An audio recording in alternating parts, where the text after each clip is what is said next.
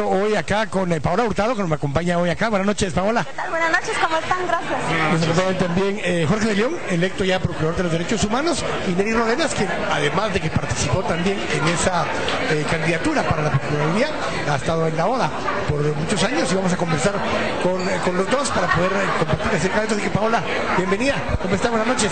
Bien, gracias. Buenas noches. Gracias a los invitados. Gracias por, gracias por acompañarnos a celebrar este tercer aniversario.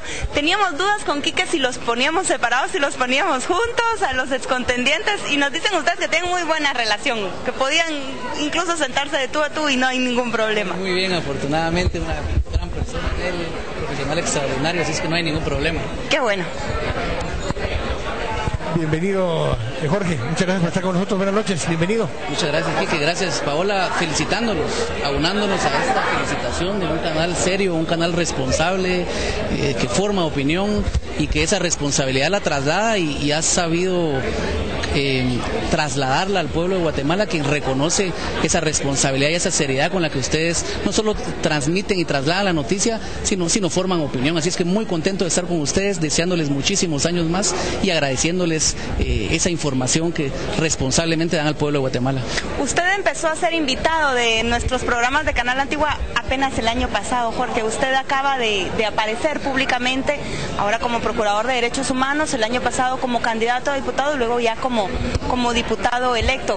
¿Cómo ha sido este periodo para usted eh, de, en estas tres etapas hasta ahora que va a asumir como nuevo procurador, Jorge? Ha sido eh, muy... Eh, muy tormentoso, digámoslo así, en un buen sentido de la palabra. Eh, como usted decía, desde el año pasado que, que, me invitaron y, siempre me he sentido muy a gusto con ustedes y, he, tenido una serie de de diferentes expresiones, digamos, al inicio como candidato a diputado, luego ya como diputado electo y hoy pues como, procurador electo de los derechos humanos. Eh, ha sido una experiencia extraordinaria para mí, un aprendizaje. Eh, no era normal para mí estar en este, en este ojo público, recibiendo críticas, eh, nutriéndome cabalmente con, con cuestiones muchas poco, con poco fundamento, pero igual me nutren, recibo las críticas con muchísima humildad y con muchísima madurez y muy contento de, de poder estar aquí con ustedes compartiendo de nuevo, eh, de ver cada domingo, cada martes, cada jueves que hablaban del tema de derechos humanos, incluso un día Paola, ya no quiero hablar de derechos humanos, decía, yo dije yo tampoco y apagué la televisión, ya era, ya era algo que de veras, yo creo que hasta la gente ya se estaba cansando, todo el tiempo era el procurador, el procurador, pero, pero muy satisfecho, muy satisfecho y muy contento con que hayan ustedes trasladado con, con muchísima objetividad todo este proceso que, que, fue muy transparente, con algunos errores, porque no es dable la perfección a la mano del hombre, pero, pero muy contento y, fue monitoreado como ningún otro proceso del procurador en la historia de Guatemala. Yo le quiero preguntar a, a Neri Rodenas, usted es una figura en este país que ha acompañado diferentes procesos y usted ha visto crecer, nacer al Canal Antigua y celebrar este tercer año con nosotros. Neri, esta pregunta es desde nosotros hacia usted. ¿Cómo ha visto usted el, crecimiento del canal, la apertura que hay de espacios para distintos puntos de vista, para distintas opiniones y figuras, eh, personalidades del país? Bueno, muchas gracias Paola, muy buenas noches a todos. Realmente yo he visto que el canal Antigua ha alcanzado un grado de profesionalización, es un canal bastante visto, eh, son bastante preparadas las entrevistas que se hacen, son temas muy importantes. Y es increíble, estábamos hace unos minutos viendo los diversos programas que tiene ya Canal Antigua. Y yo realmente me sorprendí, me llené de muchísima satisfacción que Guatemala pudiera producir, tuviera un canal como el Canal Antigua, los programas que se tienen, lo que han crecido los noticieros, empezaba con programa del noticiero de las 8.45 y ahora prácticamente hay una cobertura casi total de las noticias. Entonces nosotros podemos estar muy bien informados a las 6 de la mañana, a las 7 de la mañana, a toda hora nosotros estamos eh, muy enterados y vemos nosotros pues que es eh, tan importante la aceptación que ha tenido sobre todo el pueblo de Guatemala. En los temas que, sociales, en los temas políticos, en los temas de derechos humanos, que es en los temas en que nosotros nos movemos, siempre hay una presencia de Canal Antiguo. Eh, las entrevistas que se hacen, los diálogos que se formulan entre ustedes, yo creo que nos han llevado a realmente a crecer como país. Y en ese sentido, yo me siento muy orgulloso.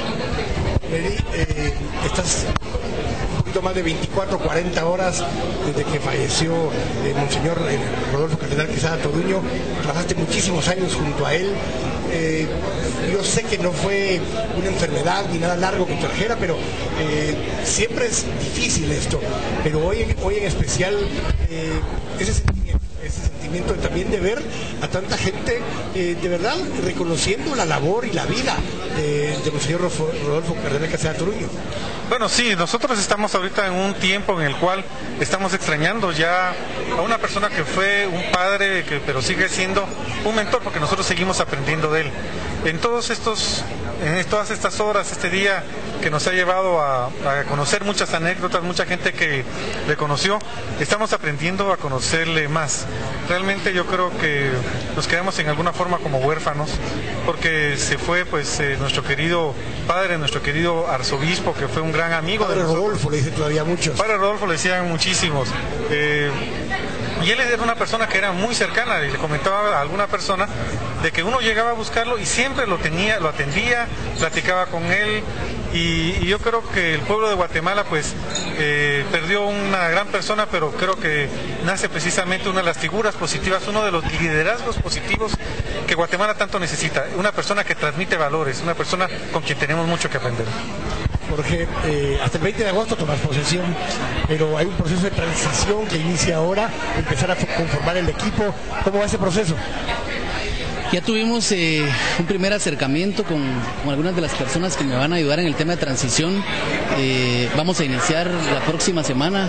El lunes creo tendré mi primer acercamiento, posiblemente con el procurador, y seguramente martes o miércoles haremos esa presentación de los equipos para iniciar con una transición, como lo he dicho, muy ordenada, muy transparente, muy profesional y, para, para saber cuáles son las condiciones de la institución, cómo está y, y hacerlo como, como lo merece la institución y como la gente está esperando que hagamos esta transición.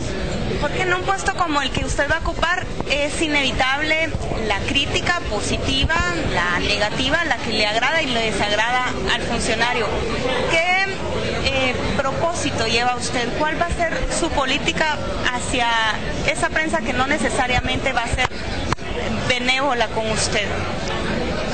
Afortunadamente crecí al lado de un hombre amigo de la prensa, sumamente tolerante con, con, con la crítica. Mi papá era un extraordinario amigo y fan de la prensa y, eso se, se, se aprende, se, se me nutrió muchísimo. Eh, estoy convencido que la, que la prensa realizará una labor de, de muchísima vigilancia. Yo encantado. Creo que es la responsabilidad de todos aquellos que, que decidimos participar en actividades públicas y estoy completamente convencido de que tendré una, eh, una participación y una gestión de puertas abiertas a la prensa, tolerante desde todo punto de vista y por supuesto sujeto a las críticas. Seguramente me equivocaré en algunas cosas y, y me va a encantar que la prensa me lo diga, me lo recuerde y la gente, la Y sociedad civil. las críticas vengan de excontrincantes, por ejemplo, de, de Neri Rodenas. Encantado, lo he dicho, los he hecho la invitación incluso a todos los grupos de sociedad civil que, que quiero que participen conmigo, que, que, que, me, que coadyuven en este esfuerzo que no es de Jorge de León, este es un esfuerzo del pueblo de Guatemala, de todos los grupos que conocen y que han trabajado en el tema de derechos humanos y lo que menos eh, espero es que, me abandonen y que me dejen solo en este esfuerzo. Encantado que gente y agrupaciones como las que representa el licenciado Rodenas eh, sean esa guía, esa luz y que me digan las cosas cuando no están de acuerdo, que me hagan propuestas también, porque, porque no es momento de, de- más enfrentamiento. Ese país ha tenido suficiente violencia y suficiente sangre y, eso es lo que espero de, de comunidad internacional, de sociedad civil, de la academia, que, que me acompañen en este esfuerzo. Repito que no es de Jorge de León, sino que es un esfuerzo por rescatar la dignidad de la institución del Procurador de los Derechos Humanos y que al final de cuentas esa tarea de velar por el respeto de los derechos humanos nos compete a todos los guatemaltecos. Neri, justamente en esa labor estuviste como contendiente por segunda vez, pero el trabajo ha sido eh, desde hace muchos años en el área. El trabajar eh, en conjunto con Jorge desde esa oficina de derechos humanos del arzobispado es un trabajo que, que se requiere, como decía Jorge ahora. Definitivamente la sociedad civil debe de coordinar con el Estado y debe de coordinar con el Procurador de Derechos Humanos. Las organizaciones de derechos humanos estamos dispuestas a poder establecer proyectos, a poder ser establecer objetivos, porque obviamente buscamos los mismos objetivos. Y como decía Paola, yo creo que un amigo es no solamente quien te dice las cosas buenas, un amigo te dice también dónde estás fallando, dónde debes de corregir, dónde puedes mejorar. Si un amigo no te dice eso, es un amigo que no es verdadero. Y en ese sentido yo creo que la sociedad civil tiene esa función, esa función precisamente de hacer ver dónde se está trabajando bien, pero también eh, ver dónde se puede mejorar. Yo creo que como organizaciones de la sociedad civil, como organizaciones de derechos humanos, pues hemos caminado mucho tiempo en este, en este espacio, conocemos muchísimo, yo creo que podemos colaborar bastante con el Procurador de Derechos Humanos y esperamos nosotros que podamos realmente fortalecer el trabajo en derechos humanos en Guatemala. Tenemos que ir al otro, al otro. Eh, ya se terminó, bueno. Termina este segmento, pero eh, Neri, muchísimas gracias por habernos acompañado. Gracias a los dos. Jorge, también muchas gracias. Será los próximos cinco años que tendremos seguramente en los estudios muchas veces para hablar de derechos humanos seguramente.